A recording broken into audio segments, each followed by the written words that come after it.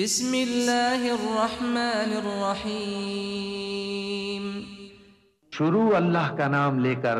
जो बड़ा मेहरबान निहायत रहम वाला है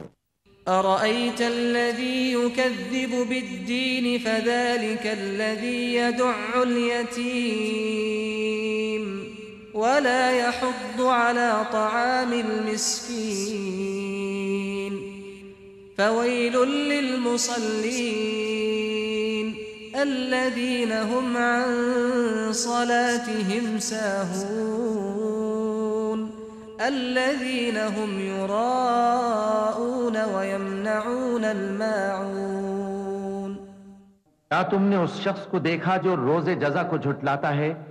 ये वही बदबख्त है जो यतीम को धक्के देता है और नादार को खाना खिलाने के लिए लोगों को तरगीब नहीं देता